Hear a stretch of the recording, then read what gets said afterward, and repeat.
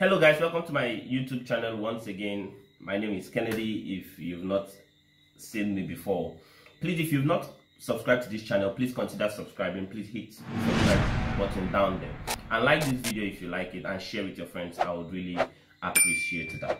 Today we are going to talk about biochemistry. Let me know in the comment section what you think about this course. Do you think biochemistry is very difficult? Do you think biochemistry is easy? Do you think biochemistry is doable? Do you think it is in fact not doable?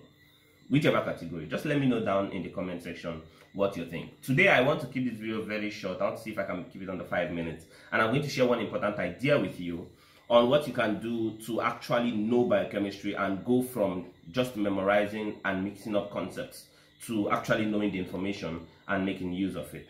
One of the common complaints people have is mixing up enzymes and drugs, for example, enzymes and pathologies. So when it's acute intermittent porphyria, you want to ask, okay, which of um which of them has uroporphyrinogen decarboxylase or which of them has the deaminase? Is it acute intermittent porphyria or porphyria cutanea tarda? You know, sometimes you mix up stuff with biochemistry and enzymes and diseases and that's how questions comes they, they often give you vignettes and then they ask you which enzyme is deficient or they ask you the diagnosis which is the easier part.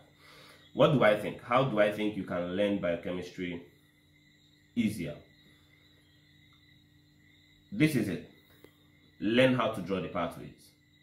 Draw them a hundred times. Draw them a hundred and fifty times. Just get a notebook. When i did biochemistry a year two years ago I drew every single pathway. I'm sure I've drawn most of those pathways up to a hundred times. I had a book for pathways, and what I would do is just draw the pathway and draw the pathway and draw the pathway every single chance I get. And what happens is eventually you actually begin to remember the pathway and the attachments to the pathway. Some pathways are important and some pathways are not important. There are pathways that you just have to know how to draw. And I'm going to tell you, pathways like purine metabolism, pyrimidine, synthesis, purine salvage pathway, heme synthesis. Those are very important pathways. And I'll tell you why they're important. They're important because they tie into a lot of pathologies. They tie into a lot of other systems. So look at pyrimidine synthesis.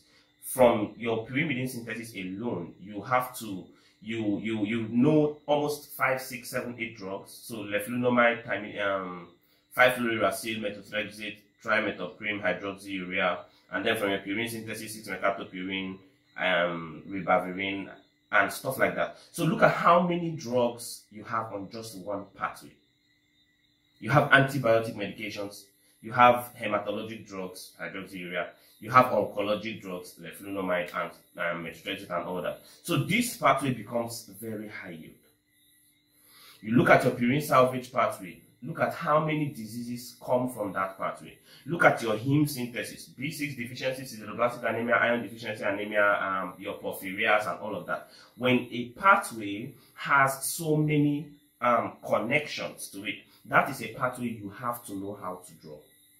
How do you draw them? You don't have to draw something this complex, something, you know, too long. You can always draw the shorthand of the pathway.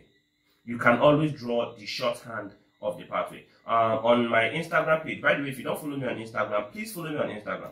On my statuses on Instagram for the rest of the week, I'm going to be posting pathways, just biochemistry pathways, for the rest of this week. And in case you miss any of the pathways for any of the days, I'll try to create a whatever what, what they call that? A small stuff, whatever that is, and I'll try to put them together in that path of Instagram, so you can always see them. But learn the shorthand of the pathways. Please be able to draw the pathways. Don't just memorize that, oh, uroporphyrinogen decarboxylase is porphyria tarda. This enzyme is for this. This enzyme is for this. I think that's more difficult. It looks easier, but indeed it's more difficult. If you can learn how to draw the pathway and fit in the drugs where they are supposed to be, I can tell you that your biochemistry is going to get much better. The second advantage to knowing how to draw the pathway, if you've done some biochemistry questions before, you know that one of the things they ask is what substance is accumulating or what substance is going to be low. For example, they can give you a question and what they're going to ask you is which of these is accumulating in this disease. How are you going to remember what is accumulating if you don't know how to draw the pathway?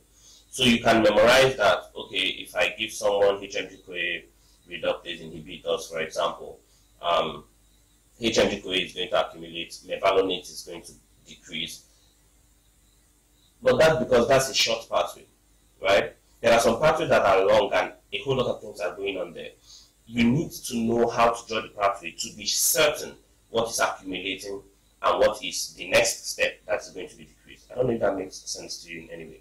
There, those are the two major advantages I see from knowing the pathways. First, you're going to be able to remember everything about the pathway. Remember all the drugs on the pathway.